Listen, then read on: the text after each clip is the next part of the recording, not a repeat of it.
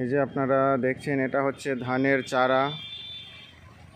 এটা actually machine দিয়ে ধান লাগানো যাবে। তাই এরকম চারা ফেলা হয়েছে। এটা মাটিতে নয়। মাটির মধ্যে ট্রে বসানো আছে একটা, প্লাস্টিকের। তার মধ্যেই চারা আছে। আপনারা লম্বা লম্বা করে যে দেখছেন, ছোট ছোট ট্রে আছে। আপনাদেরকে চারাটা তুলে দেখাচ্ছি, কীভাবে ট্রেতে করা হয়েছে এবং এটা মেশিনে লাগানোর জন্য একমাত্র এই পদ্ধতিতেই ধানের চারা করা হয়। এতদিন আমরা হাতে ধান লাগাতে দেখেছি, এটা মেশিন যন্ত্র দিয়ে ধান লাগানোর জন্য এটা ধানের চারার সিটবেল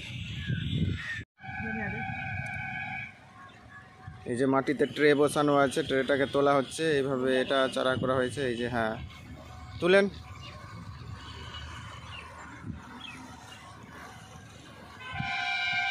এই যে দেখেন কি সুন্দরভাবে উঠে গেল। এই ট্রে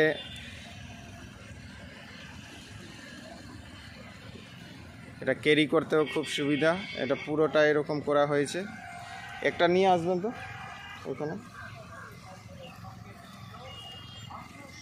একটা রাখেন, একটা।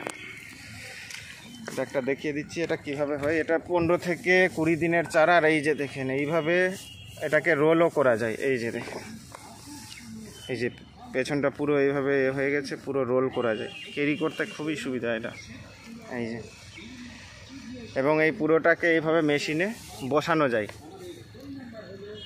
এই যে। পুরো দেখেন, এইভাবে রোল করা যায়।